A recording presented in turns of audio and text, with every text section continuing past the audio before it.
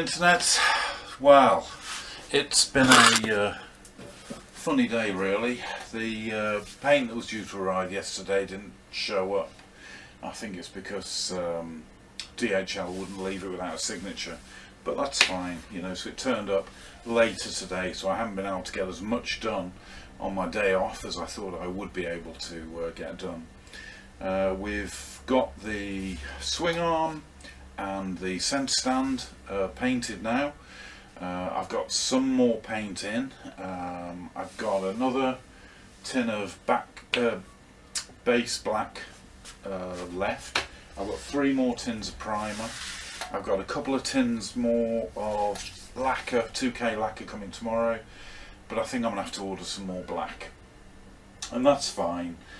Um, I think the, the bulky things that are likely to use too much paint because there's not enough going onto the panel are done now. Uh, I've still got the fork legs to do but I haven't even started to prep them yet. Uh, and then there's all the other associated metal work like the headlamp brackets and every other piece of metal, the battery carrier, all that sort of thing that I can uh, uh, that, that I'll that I'll need to paint but that's fine. Still haven't received a response from Custom Cans regarding the red, but uh, I'll follow that up again because I really want to crack on with that. I've got enough primer now, so when I, uh, probably tomorrow I'm going to make a style on the tank and stripping the uh, bikini fairing and, and, everything else really, getting that ready.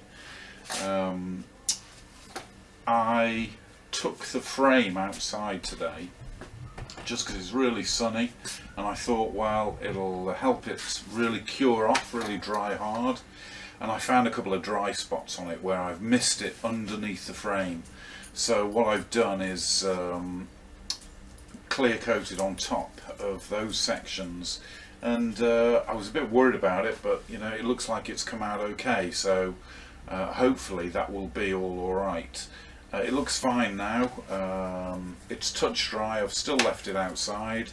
Um, so, uh, oh.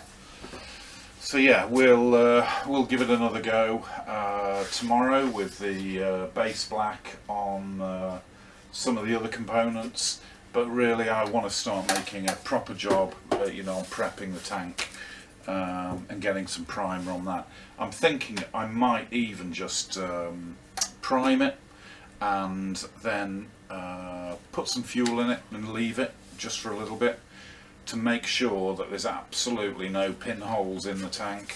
It's like I said before, I got caught out with that with the Zephyr and uh, I was ever so disappointed because the tank was finished as far as I was concerned. It looked fantastic.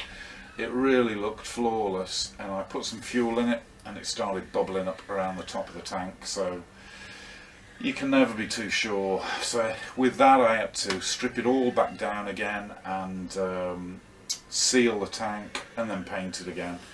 And I still to this day don't think it came out as well the second time round as it did the first so hey ho but so I'm, I'm going to make sure with the uh, the Z tank.